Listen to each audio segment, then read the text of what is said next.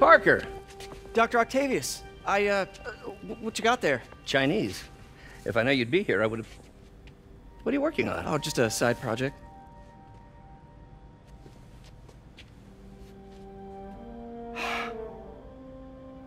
Of course.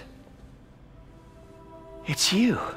I, uh, I, I I don't know what Oh, you're. come on, Parker. It's obvious. Let, let me explain. I only wish you'd told me sooner. I wanted to, I was afraid that if word got out, my family might be in danger. Huh. Yes.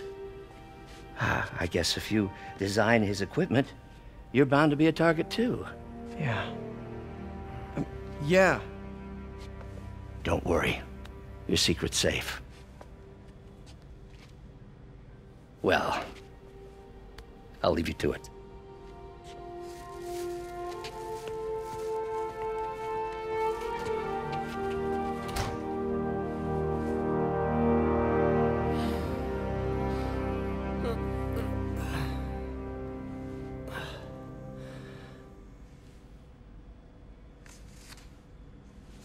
Check your email.